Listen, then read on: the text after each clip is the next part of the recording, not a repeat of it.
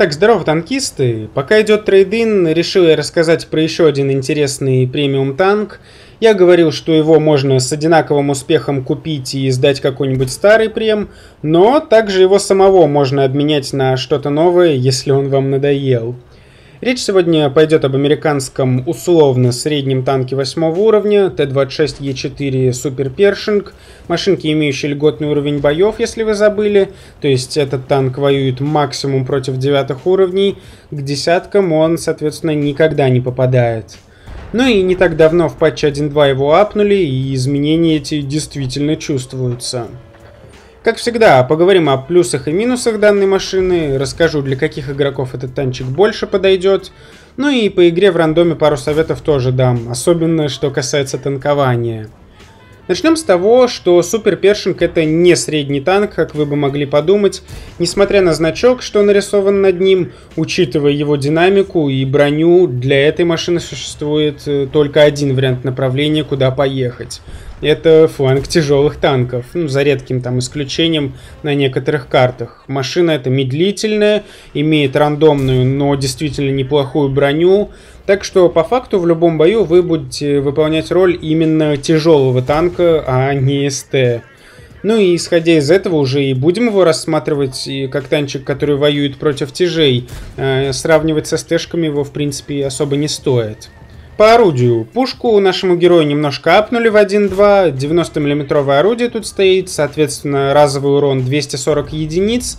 Само собой, практически любой ТТ, кроме разве что Кернарвон и Action X, э, любой ТТ имеет альфу больше, чем у нас, поэтому в размен по выстрелам идти на этой машинке не стоит. ДПМ при этом тоже не самый высокий, но перезарядка в принципе приемлемая. Бронепробитие нам тут тоже подняли, что немаловажно. Все-таки воюем мы против бронированных целей. И 202 мм у нас пробивают базовые ББшки. И по факту Учитывая, в принципе, наш уровень боев, напоминаю, воюем мы максимум против девяток, нам этого бронепробития будет зачастую хватать, особенно если грамотно выцеливать. Но в случае необходимости тут есть просто потрясающая подкалиберная гауда, 258 мм пробивают и летают пульки тоже быстро. Если хотите чисто запотеть на результат на суперперше, то заряжайте полный БК подкалиберов и с пробитием никаких проблем у вас точно не возникнет. По комфорту стрельбы тут все очень здорово. Прекрасная стабилизация, позволяющая нам стрелять сходу, не останавливаясь. Хорошая точность на 100 метров, 0.36. При этом еще и сводится пушечка тоже быстро, за 2,2 секунды. Я катал першинг еще до апа, до того, как ему улучшили стабилизацию, но до сих пор помню, даже тогда, что в плане попадания у этой машинки никаких проблем не было. Пушка мне тут очень понравилась. Единственный минус это все-таки наша альфа 240. Напоминаю, зачастую мы будем воевать против ТТ, ну а с ними особо уже не поразмениваешься. Поэтому мы либо должны въезжать нагло на противников и не принимать урон за счет нашей брони, но об этом чуть попозже, либо выезжать уже с полной уверенностью, что мы заберем противника, ну или успеем дать ему несколько выстрелов, прежде чем он зарядится. В остальном по орудию у вас точно не будет к этому танчику никаких вопросов, пушка крайне комфортная. Теперь к самому интересному, к броне. Вроде бы нам тут какие-то зоны подлатали в 1.2, но на самом деле ничего для этого танчика не изменилось, и все уязвимые зоны по факту остались прежние. И так как Супер Першинг танчик, который у нас в игре уже достаточно давно, зоны эти абсолютно каждый игрок знает. Само собой, это лючки сверху, это торчащие щеки башни и это пулеметное гнездо, ну, во лбу корпуса, который находится. Но все остальные части, как ВЛД, как ТНЛД, лоб башни, имеют крайне высокое бронирование, а сами эти уязвимые зоны при этом довольно небольшие. Поэтому, чтобы повысить шансы на непробитие, на першинге никогда нельзя останавливаться.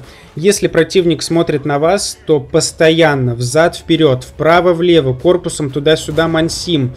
Пушку еще вверх при этом всегда во время перезарядки задираем, чтобы ну, закрыть, соответственно, орудием наши лючки и туда ну, реже пробили противники. Суперпершинг, который стоит, это мертвый суперпершинг. Ну, потому что никаких проблем, само собой, для противников выцелить уязвимые зоны стоящего танка не составит. Ну а как только мы начинаем танцевать с бубном, противникам придется мало того, что пытаться выцелить и навести мышку на нужный пиксель, так у них самих э, круг разброса из-за постоянных поворотов орудия будет больше. Поэтому вероятность промахнуться и угодить в зону с приведенкой там, под 400 мм будет уже гораздо выше. При этом э, не стоит забывать, доворачивая немножко корпусом, главное не перекрутить.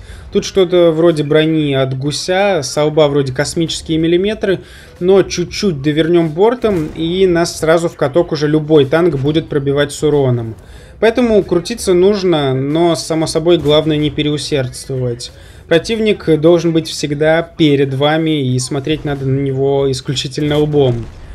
В плане фугасов наш танчик еще имеет безусловный плюс, он весь такой экранированный со лба, поэтому от фугасных танков в лоб принимает действительно меньше урона, чем многие другие машины, а иногда вообще и на ноль некоторые там. От ОНИ, особенно каких-нибудь прилетит вам на ноль урона, и уж точно будете радоваться.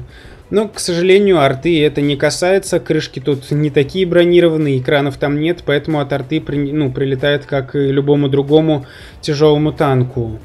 Ну и итог по броне. Хотите что-то танковать и вываливаться на противников и отбивать снаряды, то постоянно двигайтесь. Кстати, еще я заметил, что пулеметное гнездо першу редко кто выцеливает, хотя там по факту самая уязвимая зона, куда проще всего попасть. Но нам же от этого лучше. Обычно выцеливают только лючки сверху, иногда щеки башни.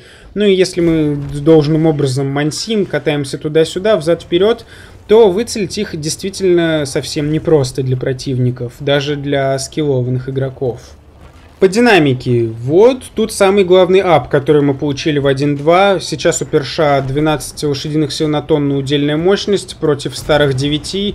И это действительно чувствуется. Скорость набирает он значительно быстрее, чем раньше. Максималка при этом 42 км в час вперед. Всегда было интересно, откуда эти десятые доли картошка меряет и зачем они в принципе нужны. Ну, все, что вам надо знать, скорость эту перш набирает только с горки. Сам он столько не едет, ну, набирает там 30 с небольшим и уже больше не разгоняется. Зато 18 км в час назад вполне неплохо. Ну и если рассматривать его как тяж, коим он является, то очень неплохо он вертится на месте. В целом динамика идеально подходит для того, чтобы постоянно мансить. Но, как вы уже поняли, если в начале боя мы выбрали направление, то, скорее всего, там мы уже до конца и отыграем. Поэтому катаемся мы зачастую на стабильные фланги тяжей. Ну и отличный обзор 390 метров. Если у вас есть пару перков на обзор, то по модулям спокойно можно ставить сюда досылатель, стабилизатор и вентилятор, чтобы дополнительно уже поднять вертлявость и ТТХ пушки. Особенно перезарядку. Ну, а если на обзор перков у вас нет, то все-таки лучше будет поставить оптику и не рисковать лишний раз. Вообще различия между этими вариантами, ну, они минимальные, поэтому можно вообще оставить и катать с оптикой. ТТХ пушки и так ничего. Ну, я выбрал именно вариант с вентилем. Все-таки для тяжелого танка обзор нам не так важен, поэтому перезарядку я лишний раз решил, ну, чуть-чуть повысить вентилятором. Ну и по итогу, я напомню вам, Супер Першинг имеет льготный уровень боев, то есть десятки мы не встречаем в наших боях. И кто бы вам что ни говорил, что льготные танки соснулые, а в принципе все-таки это безусловный плюс. Многие машины восьмого уровня, которые имеют нормальный уровень боев и у которых ТТХ получше, чем у нас, но они все равно абсолютно неиграбельные, только потому что на фланг, куда они поехали, точно так же там поехал один танк 10 уровня, и для него, ну, восьмерки это просто бонус-код на условные 1400 там хп. Поэтому зачастую мы воюем против тяжей восьмого уровня, с которыми одна, там максимум две девятки затесались, и делаем мы это вполне уверенно и комфортно. Самое главное помнить, в размен нам идти нельзя, у нас нету для этого ни альфы, да и хп тоже нам не завезли. Если выкатываем на противника, то никогда нам нельзя подставлять катки, ну и, как я уже говорил, всегда мансим взад-вперед, вправо-влево, корпусом туда-сюда двигаем, ну и пушку вверх тоже поднимайте, лючки прикрыть немного. Поверьте, ваша стабилизация позволит вам все равно сходу по противнику выстрелить и нанести урон но в таком случае ваш перш будет танковать раза в два чаще. Против всяких скилловиков это поможет, может быть, не так сильно, но против обычных средних игроков это прям нереально решает, по своему опыту говорю. Главное, слишком-то не наглейте, и все будет нормально. Ну а в топе одно удовольствие. Ехать не останавливаясь и просто ломать лица противникам. Там суперперш, ну просто король. Делая вывод, что могу сказать? Как фарм-машина, суперперш ничего, но не лучший. Придется частенько пострелять голдой, так что вывозить горы кредитов он не будет. Но отдохнуть несколько боев от десяток на восьмерке, при этом с гарантией, что к этим самым десяткам вас не кинет, опять же повторюсь, кто бы что ни говорил, но льготный уровень боев это безусловный плюс. Другое дело, что большинство льготных танков по ТТХ настолько убоги, что не играбельны, но, к счастью, нашего героя это не касается. Однако сама механика действительно облегчает жизнь очень сильно. Поэтому эта машинка идеально подойдет для тех, кто хочет немного отдохнуть от игры на высоких уровнях. При этом Супер Перж зайдет как скилловичкам, так и простым обычным игрокам. Машинка эта не такая требовательная, собственно, как и практически любой тяж. Но немножко попотев, и из этого танчика можно действительно многое выжить. Однако долго играть на нем мне было тяжело. Все-таки Альфа 240 через какое-то время начинает довольно сильно угнетать, Именно поэтому я в свое время и поменял его по трейдину, о чем на самом деле не жалею. Я уже говорил, если танчик вам надоел, неважно насколько он хорош, то зачем его хранить в ангаре? Если вы на нем играть не будете, то будет просто стоять пылиться. Поэтому я смело обмениваю машины на новые, которые, ну, в которых я уверен, что играть я на них стопроцентно больше не буду и которые мне не интересны. Но, если учитывать, что Супер Перш один из самых дешевых прям танков в магазине, к покупке я его определенно рекомендовать могу. Машинка это ни в коем случае неплохая сейчас, и даже какой-то хоть немного уникальный геймплей принести может.